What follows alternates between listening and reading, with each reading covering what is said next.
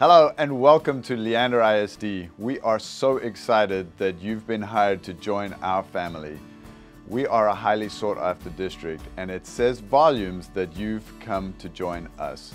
We want you to know that we appreciate the fact that you're committed to the development of each individual child, that you want to identify their strengths, their talents, their passions, their interests and their attributes.